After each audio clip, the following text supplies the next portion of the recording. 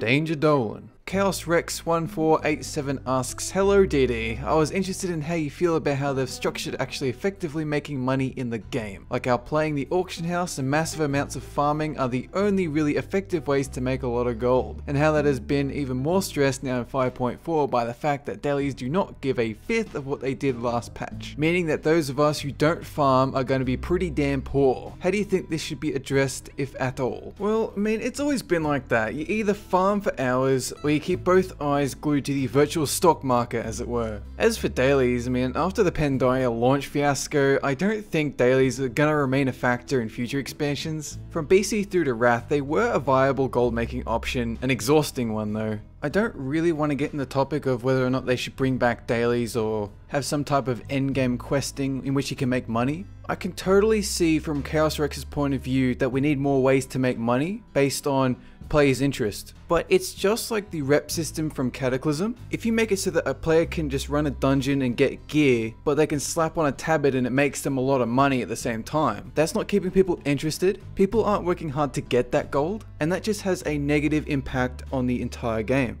When you run certain types of content, you either get like Valor points or you get gear, and that as a reward in itself is fine. There's a sense of progression there. But there's other certain types of content, and whether or not you think it's interesting is entirely subjective. But if a guy is farming constantly in the same area, and he's really committed to doing it and no one else is, that means all the gold that he earns, it's worth a lot more because he put in the time and he got it and other people require it. If someone has the option between doing a really fun dungeon and getting a lot of gold really fast, and letting this other guy farm a bunch of turtles because you can't be bothered, then all those people who use the gold from the dungeon runs are going to destroy the economy because there's too much gold now. And that is the key difference between gold and like gear and valor points. Gear is soulbound, valor points is soulbound. Gold is something that you can always use through all expansions. It should not be easy to get. And furthermore, you can contest this, but it shouldn't be overly fun. The fun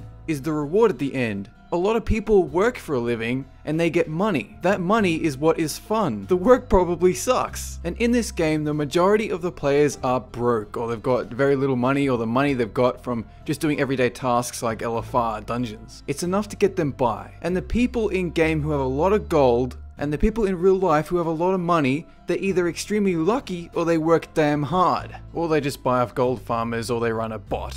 It just depends on whether or not you're a cheap bastard. But if you're looking to legitimately make a lot of gold in this game, no matter which way you slice it, it's going to take you time or effort or usually both. The key though is that you can choose how you would like to earn that gold. Farming doesn't just encompass gathering herbs or mining nodes. You could solo level 85 Blackrock Caverns and sell the greens, you know, make a few thousand gold every hour. You could solo old raids and sell the pets. You can find a spot in Jade Forest and just farm the turtles. You can level a new toon and send all the money you make from quests to your main. If you save flasks and food bar food just before a major patch, you can make a huge profit from all the casuals mass buying at the last minute for the new raid on patch day.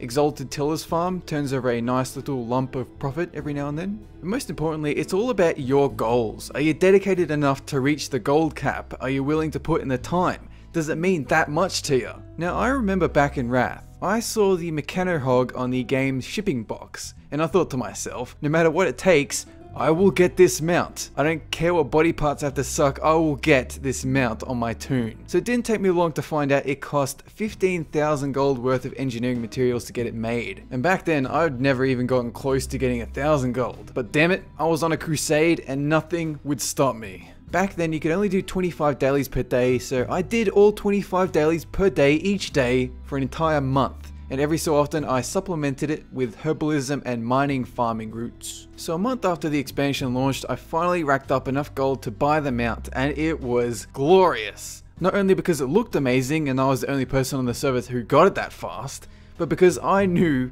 I had earned it. And there are plenty of videos on YouTube that show you ways to earn gold, and there are even some add-ons like Tycoon which help you play the auction house. You just need the initiative to follow their advice and put in the time. So to sum up, I agree with Chaos Rex that there should be more ways like dailies to get gold, but of course I don't believe that there should be more exciting or more accessible ways to get gold. It should always be difficult, quite monotonous, and it should act as like a deterrent for most players who don't have the time. As someone who never really has a lot of gold, I'm always interested in some kind of a marathon where I collect as much gold as I can, try to reach the gold cap. If I was a streamer, then I would do it. Maybe I still will one day in like a YouTube video. And for absolutely no reason at all, I would like you guys to listen to the Alice Cooper song, uh, Make That Money. I have it linked down below. I can't play it in this video because of copyright, but if there is one song on this planet that makes me pumped to make money or make gold, that is the one. It also sounds fantastic. That's it for this chat box. If you would like to see me cover a gameplay topic really quick, leave a comment below.